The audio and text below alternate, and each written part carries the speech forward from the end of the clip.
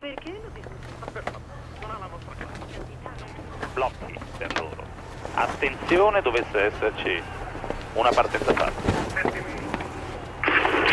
E sono rimasti lì con tempi di reazione lunghissimi sui blocchi.